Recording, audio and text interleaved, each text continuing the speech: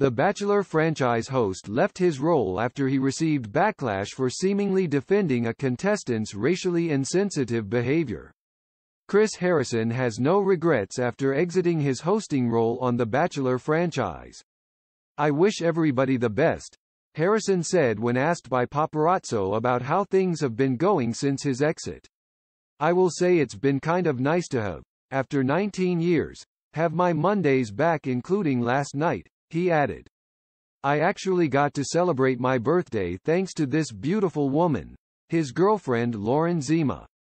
I was with my family and my friends. It was absolutely awesome. Harrison, 50, permanently stepped away from his role as the franchise's host in June after 19 years. Chris Harrison is stepping aside as host of The Bachelor franchise. We are thankful for his many contributions over the past 20 years and wish him all the best on his new journey, Warner Horizon and ABC Entertainment said in a statement obtained by Fox News at the time.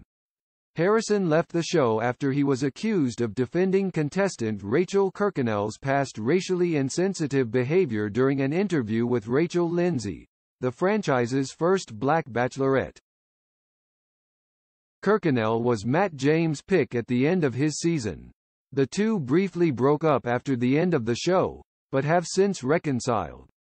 The cameraman went on to ask Harrison for his thoughts on James' reconciliation with Kirkconnell,